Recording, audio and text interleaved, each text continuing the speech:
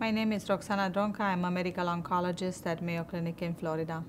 I am chair of the Hematology Oncology Division.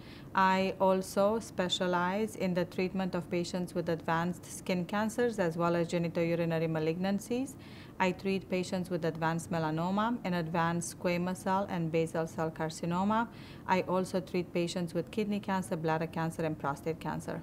In the last decade, with the progress of cancer immunotherapy, the management of these patients has changed dramatically. Many of my patients have very long remissions and have successes in treatment.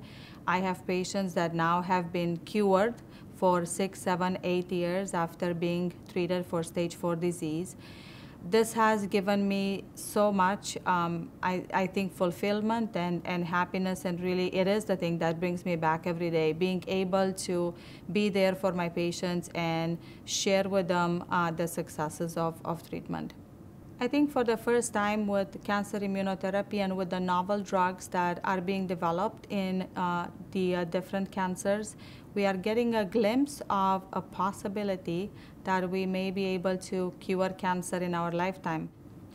I believe that my role in helping my patients uh, choose the best medical treatment is truly to help them understand, understand the disease, understand their options, understand the uh, benefits and the risks of each approach, and truly having them make a fully informed decision and choosing the best treatment options that is appropriate for um, their disease, but also for their um, goals and for their quality of life.